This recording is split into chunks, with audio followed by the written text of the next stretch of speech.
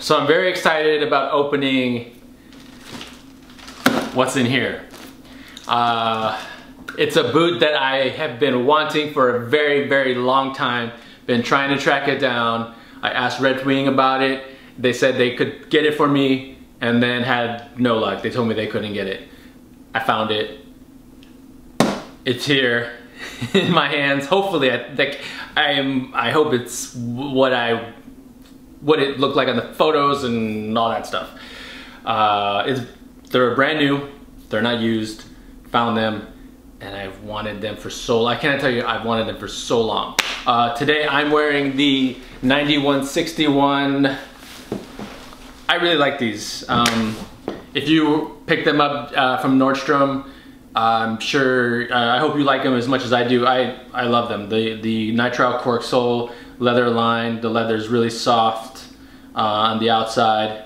Uh, they're just great, great boots.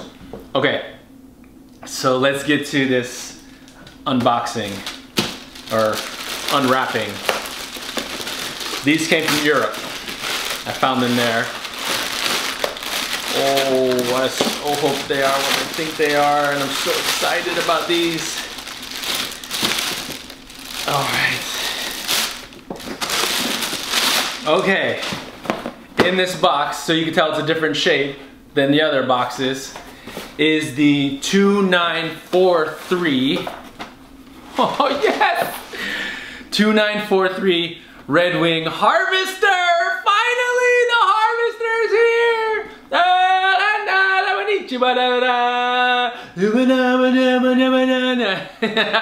I have the harvester! Oh, these are so cool, finally! And they smell good because they're brand spanking new. Oh, yes! Oh, brass hardware. Oh. So um, let's look at the other one. Let's see.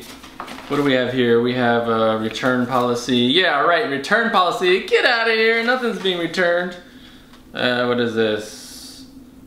Return instructions, get out of here, nobody's returning anything. Oh wow, what did they give me? They gave me some uh, Doc Martens neutral polish. Oh, that's cool. I'm gonna have to read this. I actually had um, Doc Martens polish when I was in, I think, high school or maybe high school or college, I, I used the Doc Martens polish. That's a nice touch. Thank you guys for sending that. That's really cool. I'm gonna have to open that and smell that and check the other one out.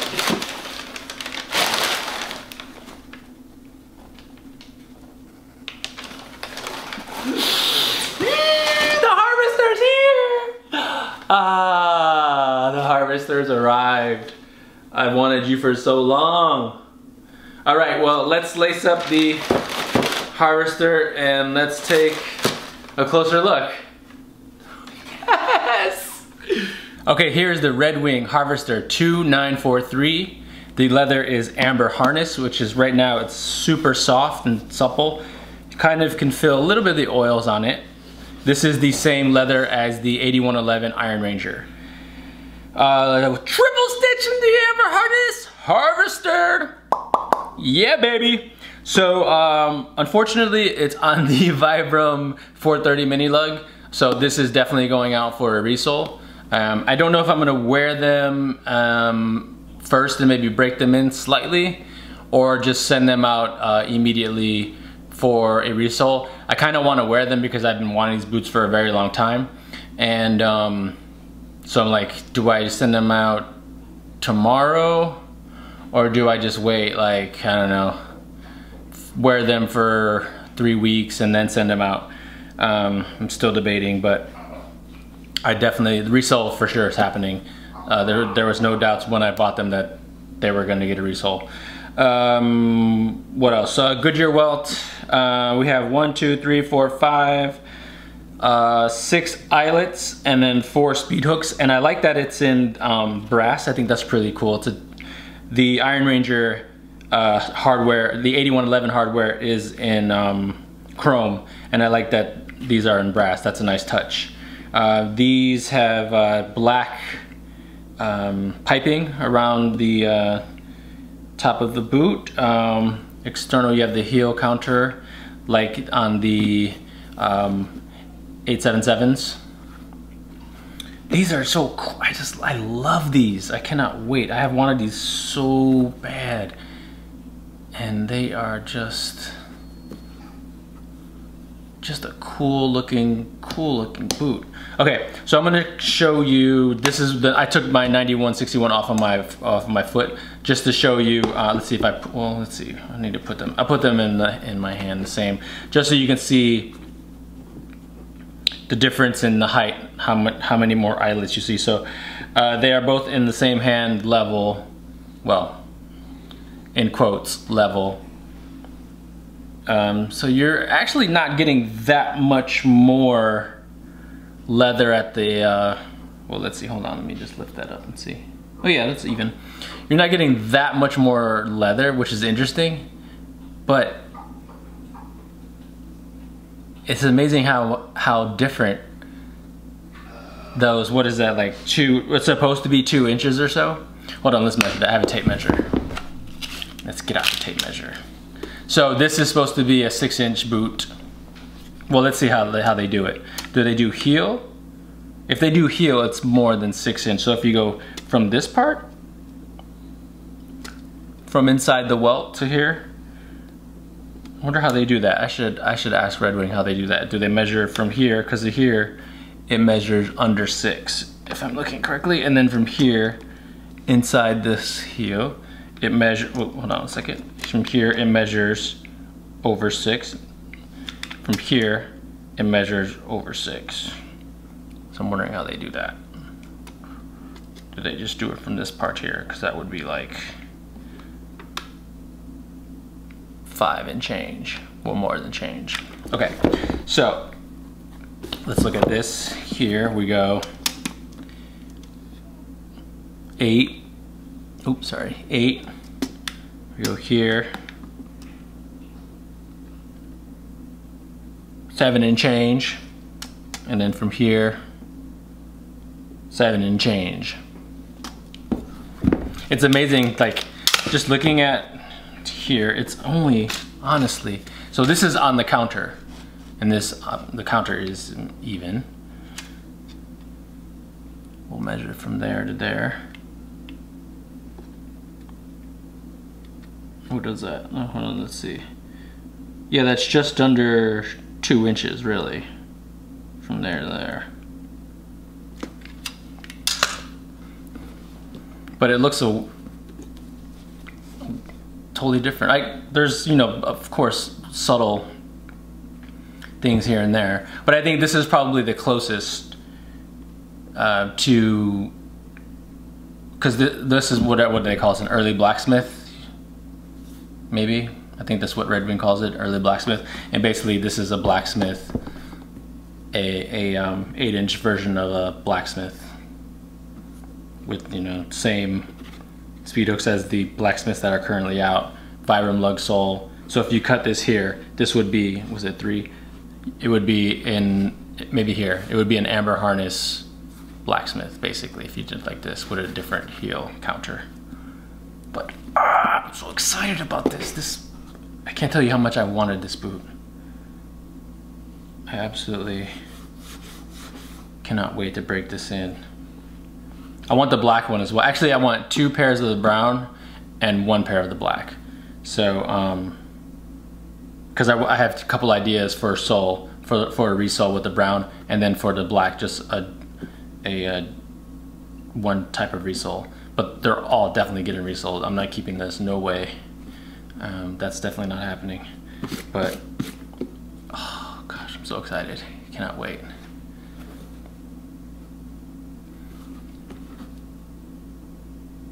Uh, let's show the inside of the other boot, or so let's show the inside of the boot. This has a uh, leather insole. If you can see, leather insole. Dark. Where's my light? Uh, the reverse of the Hawthorne here. These boots were made. What? Wow, these boots were made January uh, 28, 2018. So they're fairly new. Cool. Excited about that. But yeah, these um crisp, crisp, crisp leather. smells smells great too. That new leather smell. Can't wait to put these on. One more thing, I forgot. The uh, Doc Martens neutral polish that came with the boots. I thought that was very nice, very nice touch. It's different than the polish that I had when I, um, when I think it was in, I don't know if it was in high school or college. Um, the one I had was more of like a mink oil because it was a, yellowish, it looked kind of like yellow gel that you'd put in your hair. This one is more of like a cream kind of color. Uh, if you look it's kind of like more like lotion. And it smells like, smells good. It smells like a shoe polish that had a little touch of scent. And basically what they say, a blend of fine waxes, solvent, and dyes to nourish and protect all smooth leathers.